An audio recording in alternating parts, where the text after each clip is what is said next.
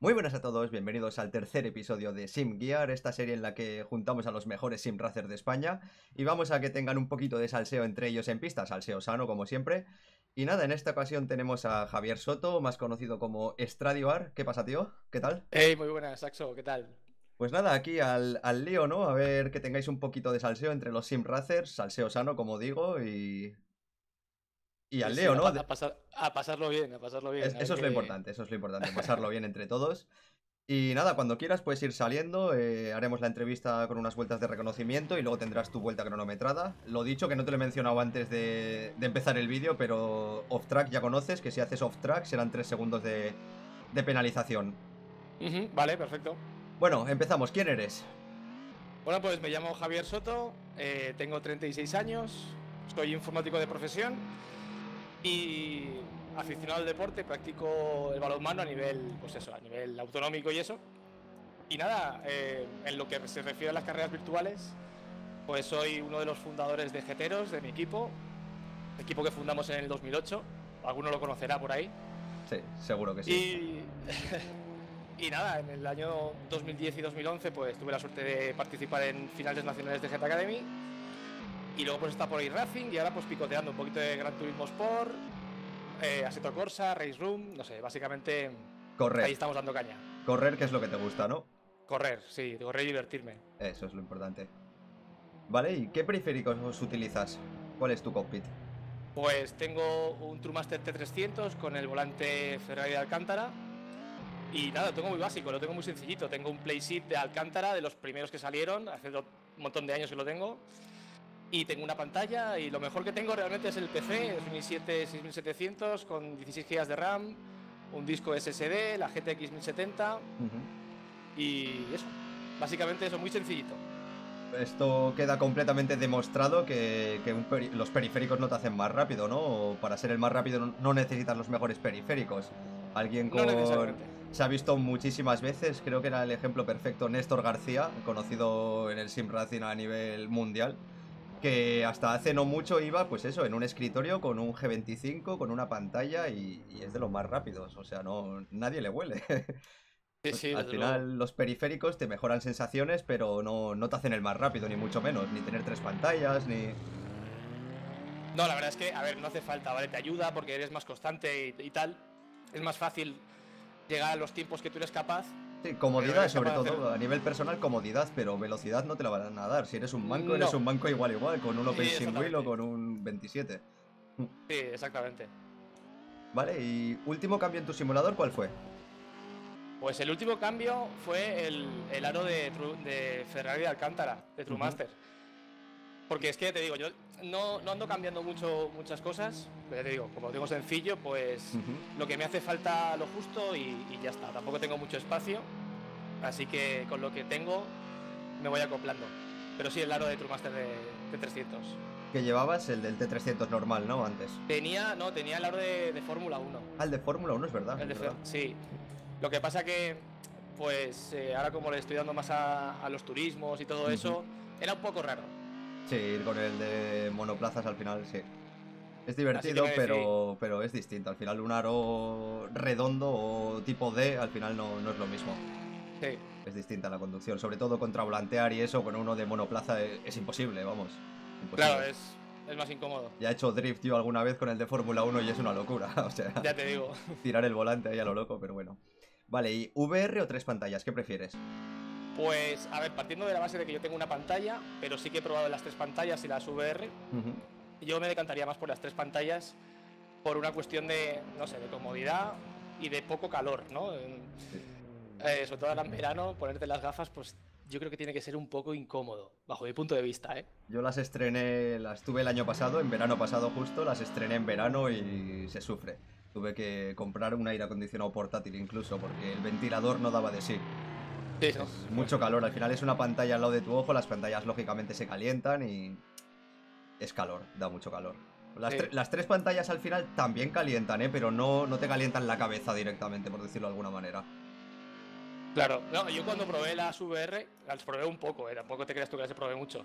pues la verdad es que se me dio la vuelta el cerebro, porque es que era súper extraño. Supongo que luego te acostumbras, pues ya ves. llevan un su periodo de aclimatación, lógicamente, como todo, pero. Pero es raro, sí.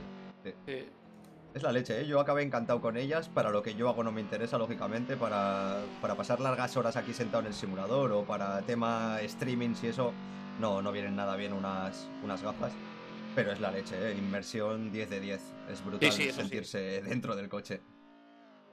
¿Vale? ¿Tu simulador favorito? Eh, has dicho que andabas ahí un poco Gran Turismo, Assetto, SRS y Racing y todo el rollo. ¿Cuál es tu favorito? Pues si me llegas a preguntar hace un año, te hubiese dicho que e-Racing porque estaba metido al 100%, he estado 7 años allí. Pero ahora, ¿qué te digo? Como estoy en plan probar muchas cosas y demás, eh, en sensaciones al volante, Aseto para mí, a mí me gusta más, no sé, es como que estoy más cómodo, ¿sabes? Como que sé más qué pasa en el coche. Tengo que cambiar esta pregunta un poco y ¿qué simulador te llevarías a una isla desierta? Ah. Para que sea ya más precisa la, la pregunta. ¿Qué te llevarías a una isla desierta? Aseto Corsa. Si no habría más durante toda la eternidad, no tendrías otro simulador. Coño, es que eso ya es, más complicado. porque a si lo extremo. competir online. no sé. A ver, es para que se moje la gente.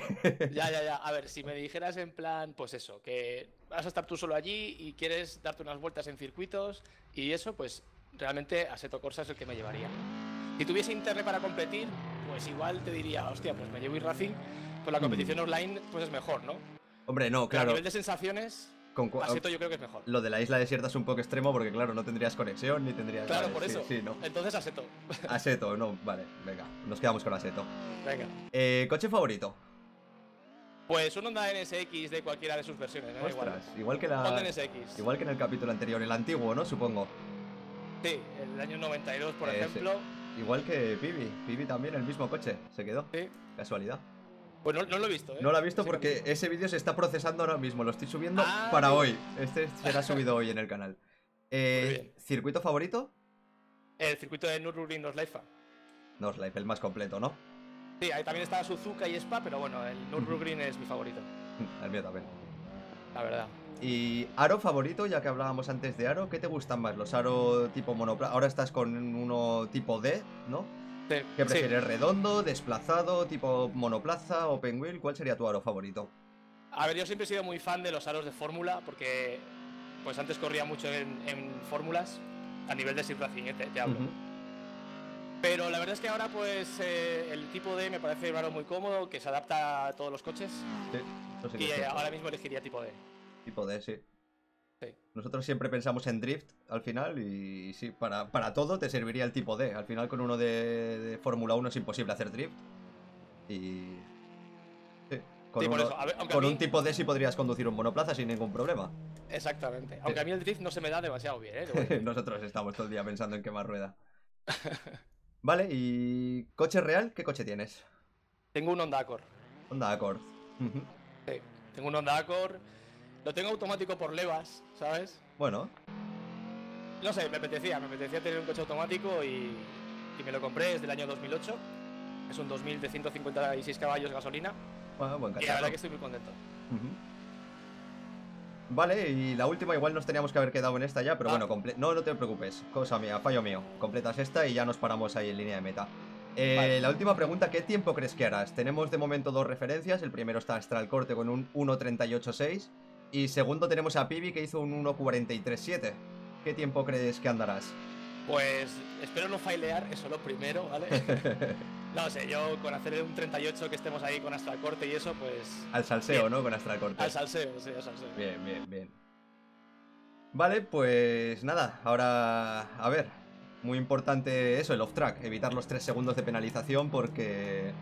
porque te crucifican. sí. Y has, en cuenta. Has practicado, ¿no?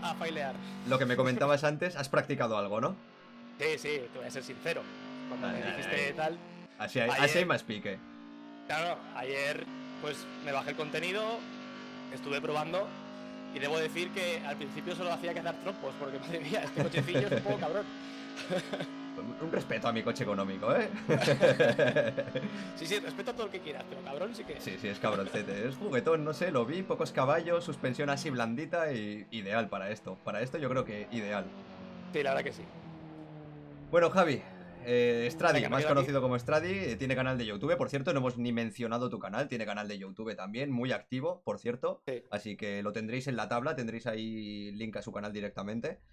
Eh, mucha suerte, tío, y nada, que disfrutes de la, experiencia. Dale duro. Venga, gracias. Vamos. Tío. Bueno, pues a ver qué tal Stradi, Javier Soto, piloto de Jeteros, fundador de Jeteros, equipo de Sim Racing español desde hace ya muchos años, de los primeros en España, me, arriesgaría a decir. Y bueno, ahí vemos cómo ha salido, sin patinar mucho, como ha mencionado, ha estado entrenando, ha estado practicando, así que si le sale bien la vuelta, hará buen tiempo. Vemos esta primera curva, bastante controlado el coche, vimos como Pibi en el capítulo anterior frenaba mucho más.